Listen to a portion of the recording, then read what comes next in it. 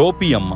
అరుణాచలం వెళ్ళిన ప్రతి ఒక్కళ్ళు ఒక్కసారైనా దర్శించాలనుకునేటటువంటి అవధూత ఒక్కసారైనా ఆవిడ పాద స్పర్శ తగిలిన ఆవిడ పాద ధూళి దొరికిన ఆవిడ విసిరేసినటువంటి టీ కప్పు దొరికినా చాలు అనుకుని కొన్ని వందల వేల మంది ఎదురు చూస్తూ ఉంటారు. ఎవరి టోపీ అమ్మ?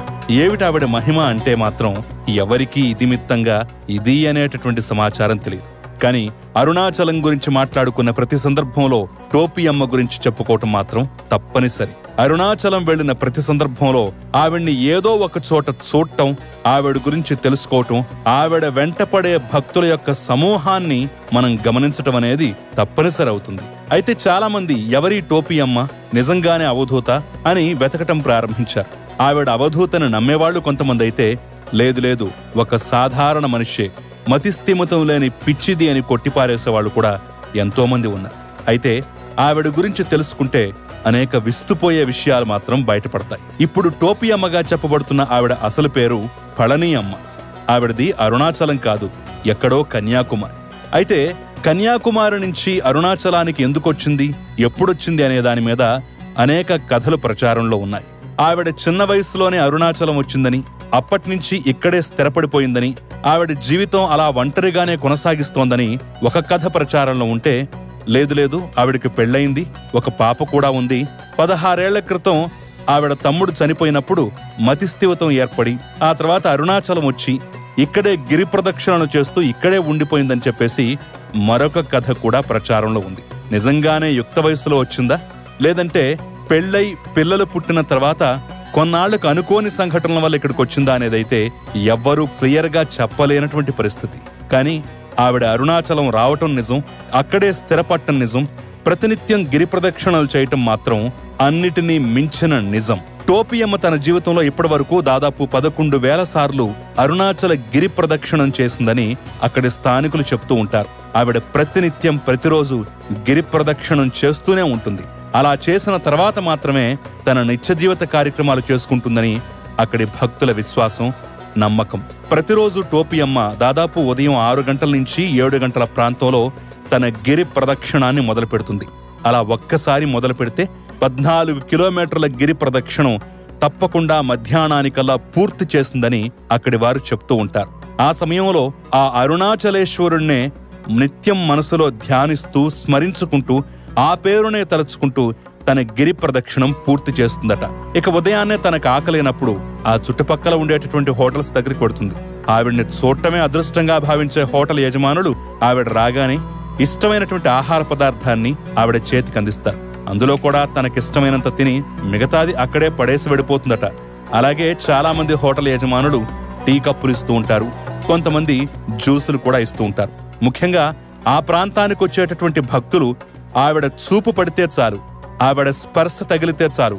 కనీసం ఆవిడ పాదధూళి దొరికినా చాలనుకుని ఆవిడికి ఏదో ఒకటి ఇవ్వటానికి డబ్బులు ఇవ్వటానికి ఆహార పదార్థాలు ఇవ్వటానికి తాగటానికి ఏదైనా జ్యూసులు ఇవ్వటానికి నిత్యం ప్రయత్నిస్తూనే ఉంటారు. ఆవిడ చిరాకు పడిపోతూ వాళ్ళను కొట్టినా తిట్టినా అదే తమ భాగ్యంగా సంతోషంగా కనీసం ఆ సందర్భంలోనైనా సరే టోపీ అమ్మ చెయ్యి మన శరీరాన్ని తాకిందని చెప్పేసి పులకించిపోతూ ఉంటారు.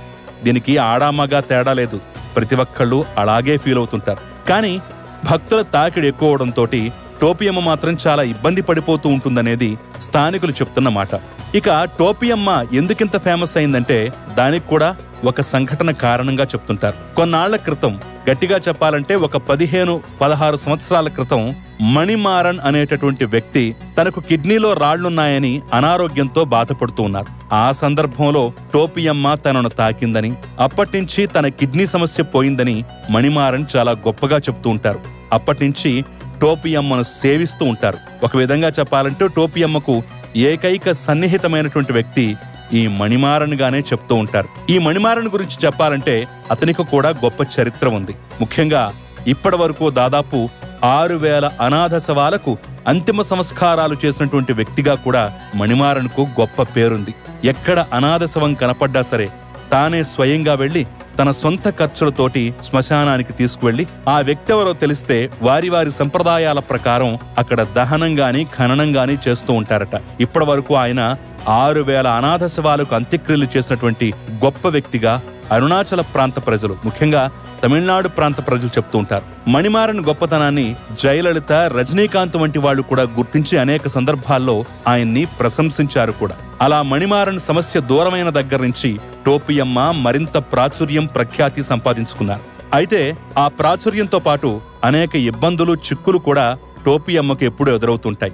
చాలామంది భక్తులు ఆవిడ నోట్లో నుంచి జాలువారేటటువంటి ఆ లాలాజలాన్ని తమ శరీరానికి పూసుకుంటే చర్మ వ్యాధులన్నీ నయమైపోతాయని ఆవిడ విడిచేసినటువంటి బట్టలు గనక సంపాదించి ధరిస్తే ఒంట్లో ఎలాంటి అనారోగ్య సమస్య ఉండదని ఆవిడ విసిరేసినటువంటి టీ కప్పులోంచి ఒక్క చుక్క టీ దొరికినా చాలు అది తాగితే శరీరంలో ఉన్న బాధలు మొత్తం పోతాయని ఆవిడ మనల్ని చూసి నవ్వితే చాలు మనకు ధనప్రాప్తి కలుగుతుందని మన చేతులతో ఇచ్చే డబ్బులు తీసుకుంటే చాలు మనకు అనూహ్యమైనటువంటి ధనప్రాప్తి వస్తుందని ఆవిడకి చెప్పులిస్తే చాలు మనకు గ్రహబాధలు తొలగిపోతాయని ఇలా రకరకాలుగా అనేక పుకార్లు అనేక వార్తలు ప్రచారంలో ఉన్నాయి. దీంతో పెద్ద ఎత్తున భక్తులు కూడా ఆవిడ్ని ఏదో రకంగా ఆవిడ చూపు తమ మీద పడాలని కనీసం ఆవిడ పాదధూలునైనా సంపాదించాలని చెప్పేసి విపరీతంగా కాళ్ళకు అడ్డం పడిపోతూ ఇబ్బంది పెడుతున్నటువంటి సందర్భాలు కూడా ఎన్నో ఉన్నాయి. అయితే ఈ మధ్య కాలంలో వీటన్నింటినీ గమనించిన కొంతమంది భక్తులు ఆవిడకు నిత్యం రక్షగా ఉంటూ ఒక మానవహారంగా ఏర్పడి భక్తుల తాకిడి ఎక్కువైనప్పుడు ఆవిడ చేత గిరి ప్రదక్షిణం చేయిస్తూ ఉంటారు. ముఖ్యంగా ఆవిడ గిరి ప్రదక్షిణం చేస్తున్నప్పుడు కాలభైరవులే ఆవిడకు రక్షణగా ఉంటారని దాదాపు ఏడు కుక్కలు ఆవిడ్ని అనుసరిస్తూ ఆవిడ గిరి ప్రదక్షిణం చేసే సందర్భంలో ఆవిడతో పాటుగా అవి కూడా ప్రదక్షిణం చేస్తాయని అక్కడ స్థానికుల విశ్వాసం.